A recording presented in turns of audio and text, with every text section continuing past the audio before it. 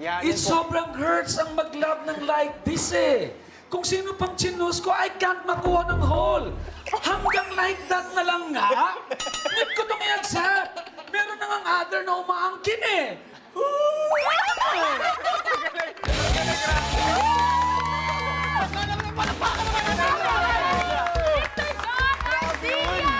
God bless you!